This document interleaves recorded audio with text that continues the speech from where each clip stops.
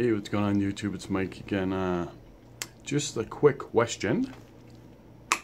Um, all the customizers out there, I don't know if you know, or I'm asking if you know, or whatever. Um, see this bit right here, drill bit? Just a 256 drill bit. Is it the same size as the 116th? Just, that's just a question. I don't know. They look the same size. Is it the same size? That's my question. If you, anybody can tell me, uh, leave a comment. Because uh, if they are the same size, then I'm going to save money because I think I found, you know, a good place to get them. Uh, for decent price instead of five bucks a whack. Anyways, um, but that's the drill bit. I'm not talking about the tap. I got some taps coming, uh, hopefully today, and uh, we'll get more customs going. You know, I know I've been promising you guys new customs and this and that.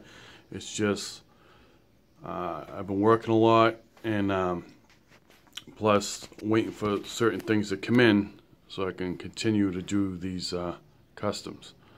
Alright, so um, thank you for your patience and all that, and um, I appreciate it.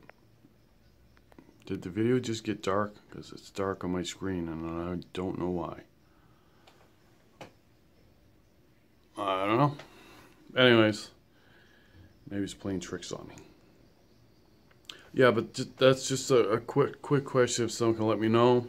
It looks like the same size. Um, but anyways, uh, that's going to do it for this video. Mmm. Another pop donut. I'm going to look like a donut. Pop donut coffee the best. I'm telling you guys, really. If there was one near you guys, you're gonna you, you would agree. I ain't kidding.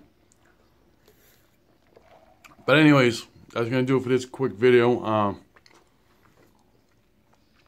more customs to come and stuff like that, so please stay tuned. Um, just bear with me, guys. Like I said, I've been wor working more hours. I do a couple overnights, and uh, it's very tiring, but you gotta do what you gotta do if you wanna uh,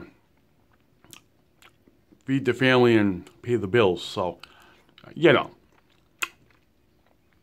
I'll talk to you guys later. And as always, take care and God bless. Oh, excuse me. How was that?